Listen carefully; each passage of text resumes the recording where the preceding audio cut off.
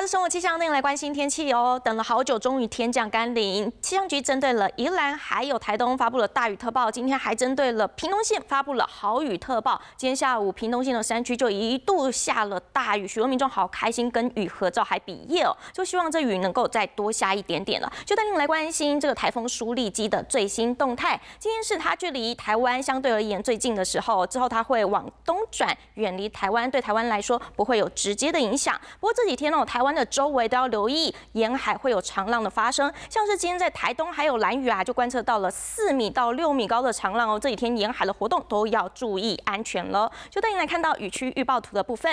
今天晚上到明天清晨，受到了这个偏东风的影响，基隆北海岸还有东半部地区有局部的降雨。到了明天白天的时候呢，可以看到这降雨的范围扩大喽。北部局部地区、东半部地区都有局部的短暂雨势。另外呢，中南部的山区在明天中午过后，则是会有雷雨发生的机会，其他西半部地区还是维持大致上是晴到多云的天气形态哦。而温度部分呢，和今天来说是差不多的。就带您来关心明天各地详细的天气预测。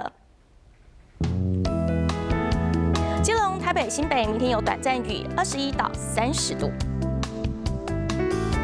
桃园、新竹、苗栗二十一到三十度，也是有短暂雨的机会。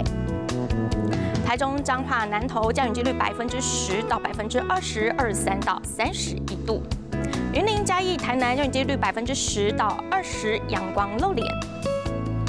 高雄屏东二十三到三十二度，要留意温差哦，来到了十度左右。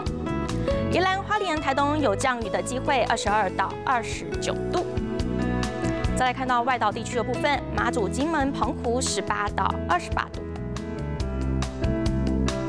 最后，天气小叮咛带你来看到这几天的天气变化。明后两天，星期五、星期六，北部东半部会有局部的短暂雨。星期天、星期一受到了华南雨区东移通过台湾的影响，各地的云量增加了，降雨几率也就增加了。而星期二、星期三，台湾上方还是有不少的水汽，北部东半部有短暂雨。而这几天哦，中南部的山区在中午过后也有局部短暂雨发生的机会。